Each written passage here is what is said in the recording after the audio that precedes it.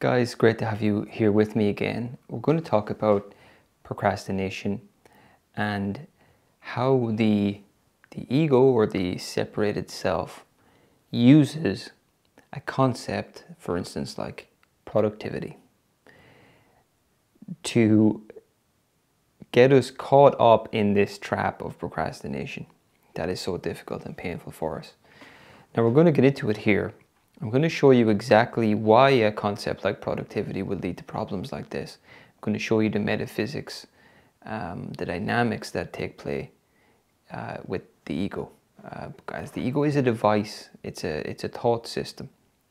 And whatever concept goes into that, we end up paying a price for identifying with it or using that concept within the ego itself.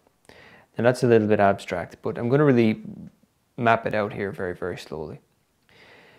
The first thing I'm going to show you here is this. And it's this whole idea, I'm, I'm referring to it as uh, ego algorithms. So it's almost to show whatever concept I'm holding, it becomes almost predictable what will happen with that afterwards. If the mindset I'm in is of the ego, or you could say of the separated self, or you could also say a thing uh, I like to refer to or to say sometimes about this is the mind that which is carrying unhealed trauma or has a split psyche, or is um, yeah, split psyche is the best way to put it. A mind of a persona and a shadow. But what I'm showing you here is really the layers underneath all of this. We have our goal at the start, and if we're carrying trauma, the goal is always going to be to hide the real source of my pain, to live from this egoic identity, this false self that I've created for myself, and to maintain that and put it in place because we're in so much pain because of trauma. But if that is our goal to maintain this, this false self, that will determine the mindset that we occupy, which will be an egoic mindset. And from there, the next layer out will be well, that's going to determine all the thoughts that I have on a day to day basis.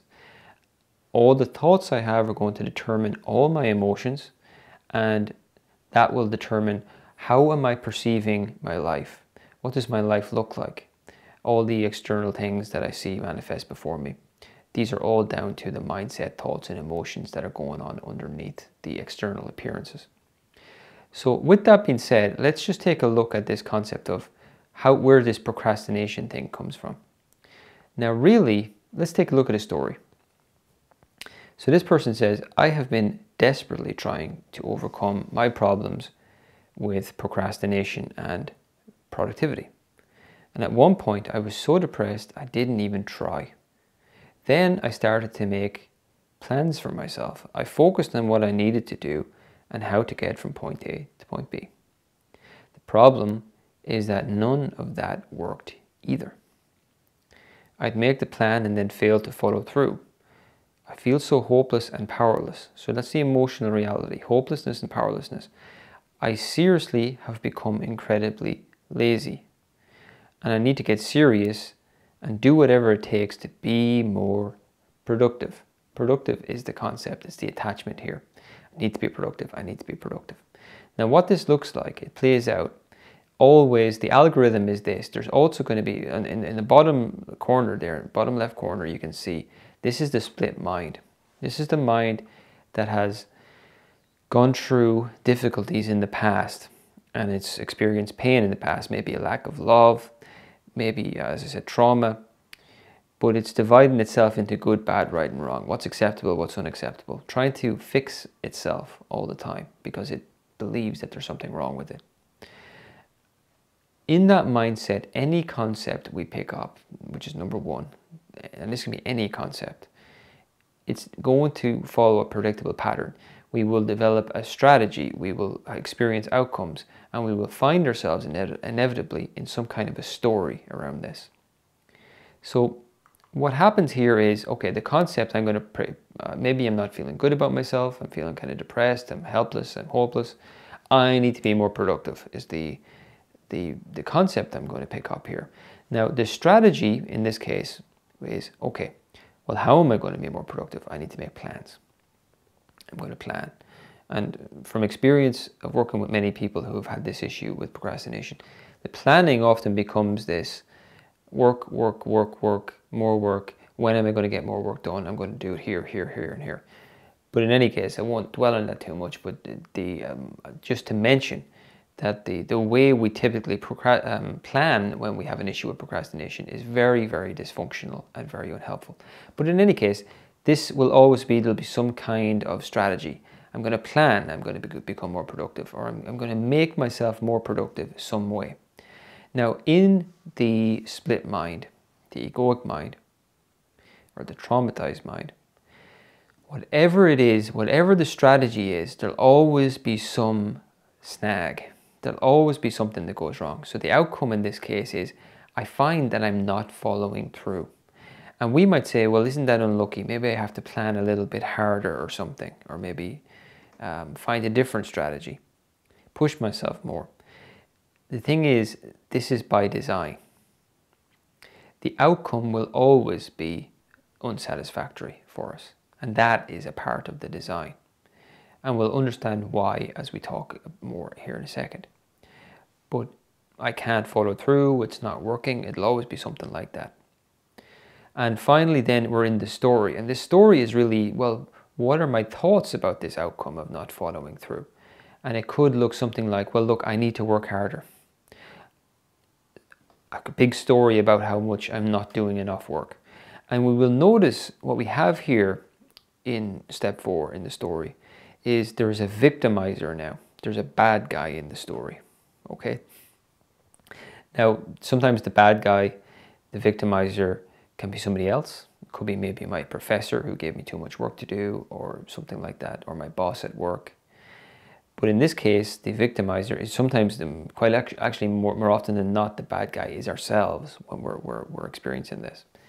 So I need to work harder. There's something wrong with me uh, in that question. That uh, example there, the person was saying they're lazy. So they're the bad guy. But also notice, so now we have a bad guy, we have a victimizer. If we go back to number three there in the outcome, you're going to notice that, well, this not following through thing in the outcome also makes you feel powerless and victimized. So we have a victim here, or which is, you know, if we have a victimizer, we're going to have a victim we'll also experience an awful lot of lack in that. Okay, this is actually in the persona, uh, really. Uh, the, the victim aspect is always found in the persona. So if we look back then to the strategy, okay, we were planning, that was our strategy. Really, here's the most interesting thing of all with this. There's always a hidden strategy. So I thought my strategy was I'm just going to plan more or I'm going to push myself more. There's a really something interesting going on. There's a secret strategy. Actually, with all this whole thing about productivity, I'm trying to secretly get rid of something. I'm not actually trying to get something. This productivity, I'm actually trying to get rid of something with this whole thing, which is why number three there, the outcome will always be dissatisfying. So the question is, well, what is it we go back to, to concept one, what is it that I'm trying to get rid of? I, I'm, I'm trying to be more productive. Really, with this whole thing about becoming more productive, the secret strategy is I'm trying to get rid of feelings of being lazy, or a better term still, I'm trying to get rid of my guilt. Okay? I'm trying to get rid of feelings of guilt with this. This is the flip side of the productive person. The productive person, uh, productivity, the flip side of productivity is always laziness or guilt. And we convince ourselves that the more I, I, if I finally become this productive guy, I'll get rid of all this lazy stuff over here. And the thing is, the more you try to do it, you're always convincing yourself as you're going and seeking this thing about being productive. Well, I'm only, oh, I have to do it because I'm lazy. I'll do it a bit more because I'm lazy. The more you do it, you're just affirming more and more the laziness is there. And we try to get rid of it more by achieving this persona. And the two cannot be separated this way. What we need is to get out of this mindset entirely, change the entire uh, paradigm of this. But we don't start there. right? That's what's that's really what's going on unconsciously. Typically, we're going to find ourselves in uh, point four in the story where we're saying, I need to work harder, and we're feeling like we're the bad guy. If we're there, that's where we start. So here's the step by step process of how you end this pattern for yourself. So the first thing we're going to do, if we look at the the uh, the theory here behind this, okay, we have the goal. The goal ultimately will have to change to be someone that's more accepting of myself. But we have mindset, thoughts, emotions, and perception. These are the things we're going to start to refer to here as we look at our solution. But if we're in the story there at point four, the first thing we have to do is start to reverse this projection. We're actually projecting all this blame from our mind onto ourself in this example. It could be somebody else. But what we have to do if we're caught up in the story is stop projecting or reverse this projection, right? That will get us out of the story. So that could be inquiry. Okay, but it's it's basically it's kind of just questioning this whole idea of I need to work harder. It hasn't been working for me. Okay, so we start to reverse our projections. We do inquiry. We start to challenge some of that thinking. Just question into it gently, and that's really what taking responsibility is. It's kind of a responsibility of the problem has nothing to do with my behavior as such. That's just a, a symptom or a side effect or a reflection. The real problem with this is my mind, my mindset that I have around this whole thing. Why is this so difficult for me? Right? So, responsibility is to look at the real cause. It's nothing to do with my behavior or pushing myself harder or making even more elaborate plans. There's something about the way I'm thinking and perceiving all of this that's a bit fishy and needs to be so I'm just going to say, maybe it's not my behavior in step four. That'll take us right out of the story. Maybe there's something deeper going on in all this. And that's going to bring us to the next one, which is, okay, now I'm coming and I'm looking at this outcome and I'm looking at this thing of I feel like I, I can't follow through and I'm feeling victimized, I'm feeling small. But the real thing is feeling. I'm coming out of the story now and I'm left with, okay, if I stop this blaming thing What's the reality of the situation? Are my feelings? And if we can feel into those emotions, if we see there in our in our um, theory thing there on the bottom right, you can see that the emotions when we're working back up are the thing we're going to get in touch with first. And it's so important to start feeling into those feelings as difficult as they are to be with, or just to start bringing more awareness to them because they will show you what have I really been thinking about this? We need to go through that layer of emotion because the emotion will tell the truth about what it is I'm really telling myself here. You know, if you're telling yourself really great things and supportive things all the time, things that work, you won't feel all that heavy helplessness and hopelessness. Okay, so those things are very important to start get in touch with, get real about. I don't feel good here. So this is emotional awareness doing body work here. This is going to help us with that. And that's really going to bring us down into the next step, which is inquiry about, okay, I think a lot of these feelings are coming from this idea that I need to plan harder or I need to push myself more. And maybe it's also an awareness of what am I actually trying to get rid of here with this approach? I'm trying to get productivity well, really, all I'm ever doing with this is trying to get rid of this feeling that there's something wrong with me through behavioral modifications and pushing myself more and all that stuff. And those, now we can start to really use discernment, which is to question all those things about if I plan more, I'll be more productive, or I need to push myself harder. Those thoughts are all causing those heavy emotions that we're feeling. And if we can start to really question those things, now we're really into just questioning the whole concepts themselves.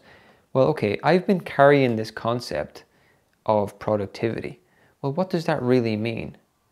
Productivity to me meant that I have to push myself. I have to I have to really work hard and sacrifice fun and be like one of those superhuman people that never rests or, or takes a break okay that's okay that's the way i've been seeing productivity maybe or i've been seeing productivity as productivity comes first and spontaneity and relaxation is a luxury and i'll get around to it if i have time we see we're questioning the whole real meaning of it. And now we're going to start to choose a way to reinterpret it, to make a different choice. So I'm still going to want to be productive, but just in a completely different mindset, a completely different definition of what that might mean.